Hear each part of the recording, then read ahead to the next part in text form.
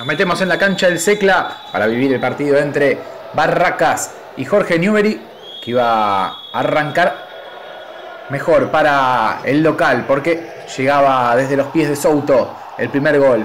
Barracas se ponía 1 a 0, un partido clave en esta lucha por ingresar al playoff. Pelota parada para Newbery, la movía Paredes, perdía con Gaby Ramírez, jugaba para Claudino y entre Puchete y en contra llegaba el segundo gol de Barracas que había arrancado con todo el equipo local que ahora queda a un punto de River y América.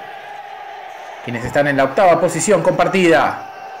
Va a llegar Werner por el segundo palo para empujarle y poner el partido 3 a 0 Barracas quería definirlo ya en los primeros 20 Newbery no le encontró la vuelta al partido Ahí arrancaba la jugada con Botinelli, pero cada contra termina siendo letal para Barracas.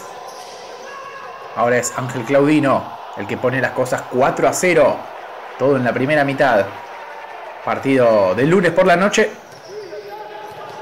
Y Barracas que va a seguir en el segundo tiempo, aprovechando ahora que Newbery estaba con arquero jugador. Y Gaby Ramírez se junta con Werner y el 7 termina definiendo para poner las cosas 5 a 0. Seguía atacando Newbery con arquero jugador. Intentaba meterse en partido, llegar al descuento, pero otra vez el robo de Ángel Claudino para poner las cosas 6 a 0. Toda la bronca de Newbery que no podía descontar.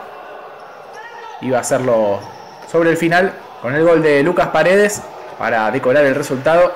Gran victoria de Barracas que se mete de lleno en la pelea del playoff. Newbery, luego de varias fechas estando adentro, ahora tendrá que luchar por volver a ingresar.